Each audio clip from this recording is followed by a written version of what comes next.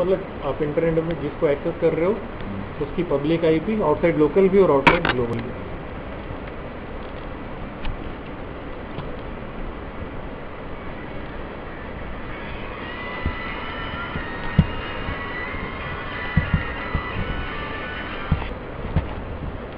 Second है इसमें dynamic NAT हाँ डायनेमिक नेट जो है, इसमें स्टैटिक नेट से कुछ चीज़ें मिलती हैं और कुछ अलग हैं।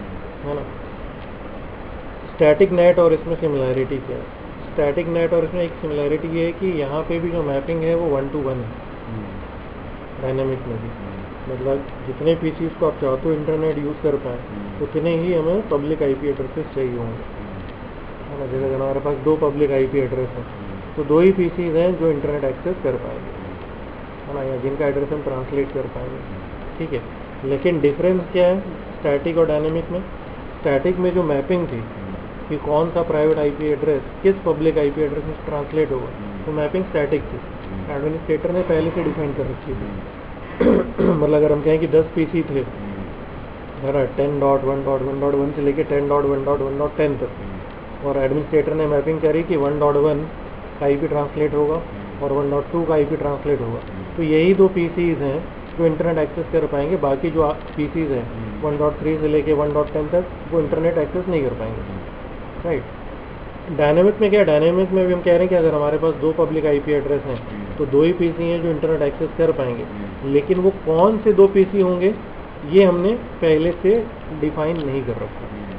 है ना? तो यहाँ पे जो पॉलिसी काम करती है वो है फ़र्स्ट कम फ़र्स्ट सर्व पहले आओ पहले पाओ। है ना? तो यहाँ पे क्या होगा कि जैसे 10 पीसी हैं वही वन डॉट वन से लेके वन डॉट टेन तक। तो हमने क्या किया हमने यहाँ पे एक पूल बना दिया। पूल मतलब ग्रुप मान लो। डी एच में बनाते हैं पूल एड्रेसेस का वैसे ही। यहाँ पे हमने पूल बना दिया कि हमारे पास पूल में दो पब्लिक आईपी एड्रेस हैं जो कि हम ट्रांसलेशन के लिए यूज़ करेंगे। लेकिन हमने मैपिंग नहीं करी है ना कि इस प्राइवेट आईपी को इसमें करेंगे। ये मैपिंग हमने नहीं करी। ये मैपिंग हमने डायनेमिकली छोड़ दी अपने आप करेगा राउटर ठीक? अब पहला पीसी जो इंटरनेट पे जाने की रिक्वेस्ट भेजेगा फ़र्स्ट पीसी वो पीसी कोई भी हो सकता है। तो वन डॉट वन भी हो सकता है वन डॉट फाइव भी हो सकता है वन डॉट टेन भी कोई भी एक पीसी उसने जब रिक्वेस्ट भेजी तो राउटर ने ये देखा कि मेरे पास जो पूल है, उसमें कितने एड्रेस हैं? दो हैं। उनमें से कौन सा एड्रेस है? फ्री है, दोनों फ्री है। तो पूल का पहला एड्रेस उसने उठाया और उस प्राइवेट आईपी को असाइन कर दिया, जिससे भी रिक्वेस्ट आई थी। मान लो वन डॉट फाइव से आई थी। तो वन डॉट फाइव को पब्लिक आईपी मिल गई इंटरनेट यूज़ करना उसने शुरू कर दिया। अब पूल में कितने एड्रेस बचे? एक। अब जो दूसरा पीसी रिक्वेस्ट भेजेगा। मान लो दूसरा पीसी था वन डॉट टेन ठीक उसने रिक्वेस्ट भेजी राउटर ने फिर से देखा कितने एड्रेस बचे हैं पूल में। एक बचा था। जो बचा था उसने उसको असाइन कर दिया। राइट और दूसरा पीसी वन डॉट टेन उसने भी इंटरनेट एक्सेस करना शुरू कर दिया। राइट तो दो पीसीज थे जिन्होंने रिक्वेस्ट भेजी। हमारे पास दो ही पब्लिक आईपी एड्रेस थे दोनों असाइन हो गए। दोनों पे नेट चलने लगा।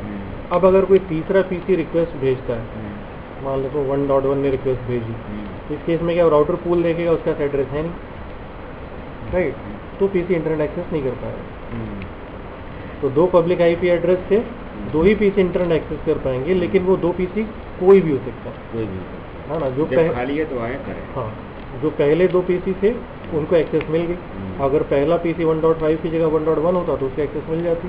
या दूसरा होता तो भी मिल जाती। लेकिन अगर दोनों एड्रेस यूज़ हो रहे हैं तो नहीं मिलेंगे। राइट उसमें फिर ये भी होता है कि मतलब ऐसा नहीं है कि दो पे इंटरनेट चलने लगा तो बाकी को इंटरनेट एक्सेस मिलेगी अब उसमें ये हो सकता है कि जैसे वन डॉट 1.5 पीसी जो भी यूज़र यूज़ कर रहा था उसने अपना काम कर लिया नेट एक्सेस उसने बंद कर दी लेकिन उसकी मैपिंग तो वहाँ बनी हुई है कि एड्रेस इसको असाइन है।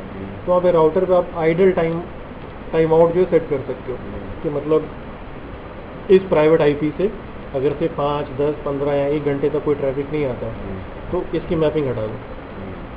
है ना? तो 1.5 पे जो यूज़र था मान लो उसने ब्राउज़र ब्राउज़र बंद कर दिया इंटरनेट एक्सेस करना बंद कर दिया और हमने आइडल टाइम आउट जो 10 मिनट का रखा था तो 10 मिनट तक जब उस पीसी से इंटरनेट के लिए कोई ट्रैफ़िक नहीं आया तो राउटर ने उसकी मैपिंग हटाई और जो पब्लिक आईपी था वापस पूल में डाल दिया कि फ्री है अब इसको यूज़ कर सकते हैं तो अब अगर वन डॉट वन से रिक्वेस्ट आती है तो उसको एक्सेस मिल जाएगी है ना? तो ये होगा डायनेमिक मैप तो इसमें भी क्या इसमें भी जो मैपिंग से वो वन टू वन ही है। दो पब्लिक आईपी हैं तो दो ही पीसी साइमल्टेनियसली इंटरनेट एक्सेस कर सकते हैं, लेकिन वो दो पीसी कोई भी हो सकता है। राइट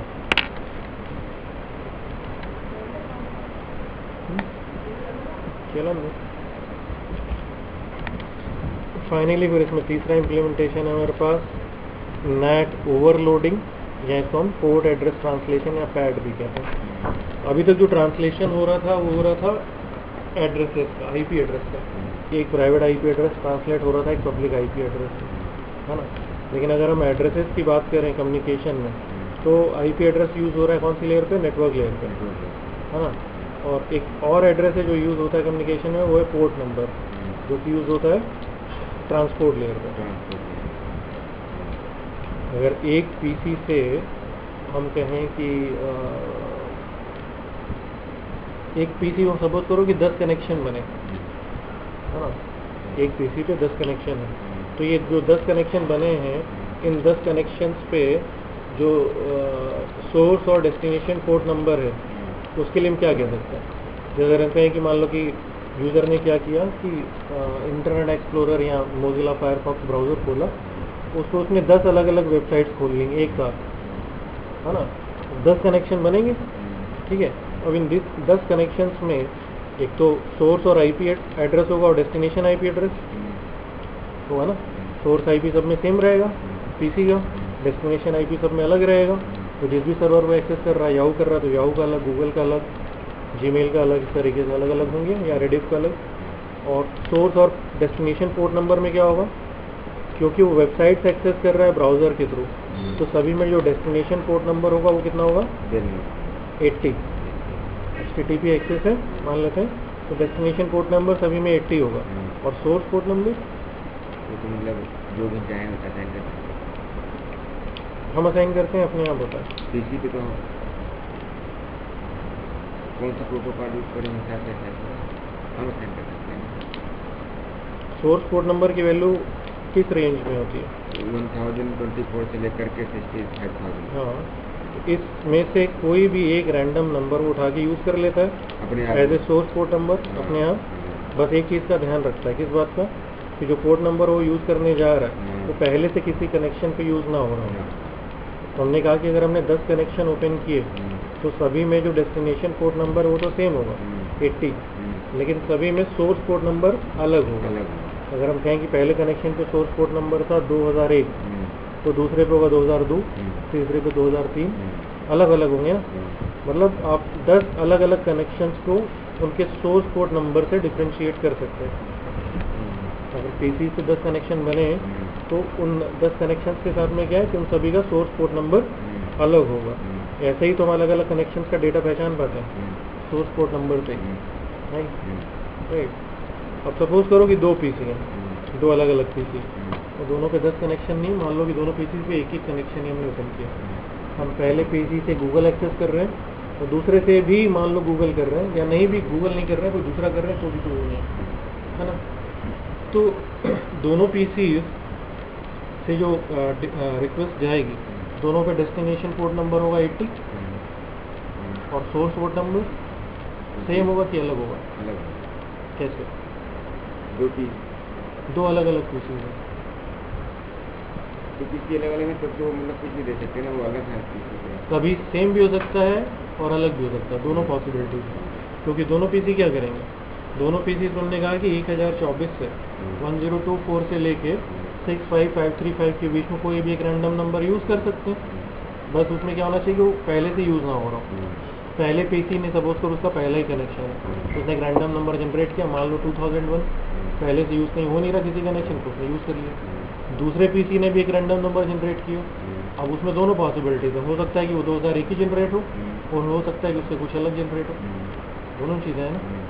तो अगर तो सेम जनरेट हुआ तो सेम है अलग जनरेट हुआ तो अलग राइट ये क्यों डिस्कस कर रहे हो इसलिए डिस्कस कर रहे हैं। इसमें दो तरह की सिनेरियोज हो सकते हैं।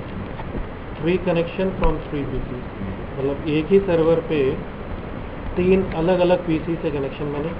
और पहला हो सकता है कि एक सर्वर पे एक ही पीसी से कनेक्शन बने, लेकिन तीन कनेक्शन बने। पहले केस में हमने कहा कि पहला पीसी था वन डॉट वन दूसरा था वन डॉट टू तीसरा था वन डॉट थ्री ठीक? इसने सोर्स आई डाली अपनी port number one zero two four दूसरे ने डाला तो हो सकता है ये भी वन ज़ीरो टू फोर ही जनरेट कर ले। डेस्टिनेशन सब में सेम रहेगा। डेस्टिनेशन की आई पी एक सौ सत्तर, एक एक एक पोर्ट एट्टी एट्टी एट्टी लेकिन सोर्स पोर्ट नंबर सेम भी हो सकते हैं डिफरेंट भी हो सकते हैं। राइट तीस और इस केस में, इस केस में डेस्टिनेशन आईपी तीनों केसेस में same destination port number same source IP तीनों केसेस में सेम लेकिन सोर्स पोर्ट नंबर हमेशा अलग होंगे। हम्म? ओके ये सब डिस्कस क्यों कर रहे हैं? डिस्कस इसलिए कर रहे हैं यहाँ पे क्योंकि जो नेट ओवरलोडिंग है इससे पहले हमने जो अभी दो देखे इम्प्लीमेंटेशन नेट के, उसमें क्या था कि हम एक प्राइवेट आईपी को एक पब्लिक आईपी में ट्रांसलेट करते थे। है ना वन टू वन मैपिंग थी। तो कोई कन्फ्यूज़न नहीं था। कन्फ्यूज़न क्यों नहीं था? जैसे पी सी वन का एड्रेस था वन डॉट वन वो ट्रांसलेट हो गया two hundred one dot one dot one में। पी सी टू का एड्रेस था मान लेते हैं वन डॉट टू वो ट्रांसलेट हो गया two hundred dot one dot one dot two में। ठीक? अब जब रिटर्न ट्रैफ़िक आता है, वापसी में जब ट्रैफ़िक आता है तो वापसी में ट्रैफ़िक अगर आ रहा है two hundred dot one dot one dot one के लिए तो राउटर को पता है कि ये आईपी एड्रेस मुझे ten dot one dot one dot one में ट्रांसलेट करना है। अगर ट्रैफ़िक आ रहा है वापसी में two hundred dot one dot one dot two के लिए तो राउटर को पता है कि ये ट्रैफ़िक मुझे ten dot one dot one dot two में ट्रांसलेट करना है। लेकिन जब हम ये कहें कि हम एक ही आईपी एड्रेस मल्टीपल पीसीज के लिए शेयर करेंगे मतलब हमारे पास पब्लिक एड्रेस एक ही है लेकिन प्राइवेट आईपी एड्रेसेस कई सारे हैं। तो ट्रांसलेशन में कंफ्यूजन आएगा। किस तरीके का कंफ्यूजन मान लो कि दो ही पीसी है ten dot one dot one है ना? और ten dot one dot one dot two ये दो पीसी हैं। लेकिन पब्लिक आईपी हमारे पास दो नहीं है एक है। Two hundred dot one dot one dot one तो दोनों पीसी से जो ट्रैफ़िक आ रहा है वो एक ही पब्लिक आईपी में ट्रांसलेट होता है। ट्रैफ़िक चाहे वन डॉट वन से आए चाहे वन डॉट टू से आए ये दोनों प्राइवेट आईपी जो है ट्रांसलेट हो रही हैं। Two hundred dot one dot one dot one में। अब जब रिटर्न ट्रैफ़िक आ रहा है मान लो पहले पीसी पे आपने गूगल खोला दूसरे पीसी पे आपने याहू खोला ठीक है तो गूगल से जो रिस्पॉन्स आ रहा है वो किस पे जाना चाहिए ten dot one dot one dot one पे याहू से जो आ रहा है वो जाना चाहिए ten dot one dot one dot two पे ठीक लेकिन दोनों ही केसेस में जो वापसी में ट्रैफ़िक आ रहा है वो किस डेस्टिनेशन आईपी के लिए आ रहा है two hundred dot one dot one dot one के लिए अब राउटर को ये कैसे पता चलेगा कि इस एड्रेस को मैं ten dot one dot one में ट्रांसलेट करूँ कि ten dot one dot one dot two में ये कन्फ्यूज़न है। तो इसलिए राउटर यहाँ पे क्या करता है? आईपी एड्रेस के साथ साथ पोर्ट नंबर यूज़ कर लेता है। जैसे यहाँ पे सपोज़ करो, इस बीच वाले को भी थोड़ी देर के लिए हम इग्नोर करते हैं। इसको पकड़ते हैं। मान लेते हैं दो पीसी हैं ten dot one dot one dot one ten dot one dot one dot three और ये दोनों एक ही सर्वर को एक्सेस कर रहे हैं। ज़रूरी नहीं, अलग भी कर सकते हैं। तो पहले का आईपी एड्रेस ये पोर्ट नंबर इसने one zero two four generate किया। दूसरे का आईपी ये, इसने port number one zero three three generate किया। जब ये एड्रेस ट्रांसलेट हो रहा है तो हम यहाँ पे कह रहे हैं कि आईपी एड्रेस के साथ साथ कोड नंबर भी ट्रांसलेट होंगे तो ये जो आईपी थी, ये ट्रांसलेट हो गई two hundred one dot one dot two में, एक ही है हमारे पास। और ये जो आईपी थी, ये भी ट्रांसलेट हुई two hundred dot one dot one dot two में। ठीक? ये port number one zero two four था, ये वन ज़ीरो टू फोर में ट्रांसलेट हो गया, कोई चेंज नहीं किया। वन ज़ीरो डबल थ्री था, है ना? अब इन्होंने यहाँ पे चेंज कर दिया है, लेकिन कोई ज़रूरी नहीं है। हम इसको यहाँ पे वन ज़ीरो डबल थ्री भी रख सकते थे। मान लेते हैं कि वन ज़ीरो डबल थ्री है। ठीक?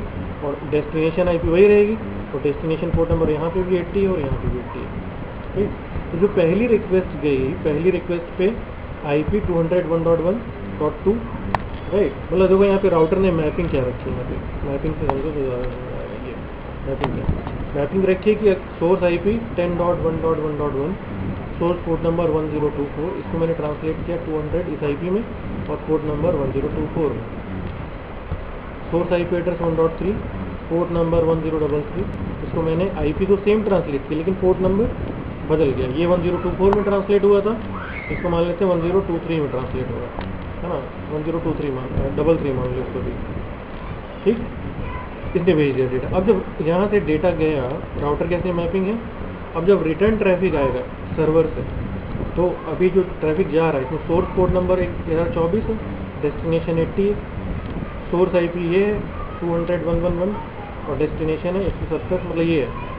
और जब रिटर्न ट्रैफ़िक आएगा तो सोर्स आई पी एक सौ सत्तर की हो जाएगी सोर्स पोर्ट नंबर एट्टी हो जाएगा destination I P two hundred वाली हो जाएगी और destination port number one zero two four. तो जब रिटर्न ट्रैफ़िक आएगा तो राउटर ये टेबल देखेगा राउटर देखिएगा आई पी कितनी है? Two hundred one one two match कर रही है। पोर्ट नंबर कितना है? One zero two four. अब इन तीनों एंट्रीज में वन ज़ीरो टू फोर यहाँ है। तो इसका मतलब ये जो ट्रैफ़िक है, ये किसमें ट्रांसलेट करूँ मैं? टेन वन वन वन में ट्रांसलेट करूँगा और port number one zero two four में। लेकिन अगर रिटर्न ट्रैफ़िक आ रहा है इधर से, कि port number sorry source IP ये है सोर्स पोर्ट नंबर ये है डेस्टिनेशन आईपी अगेन सेम है, लेकिन port number one zero double three है। ठीक है? तो ये एंट्री चेक करेगा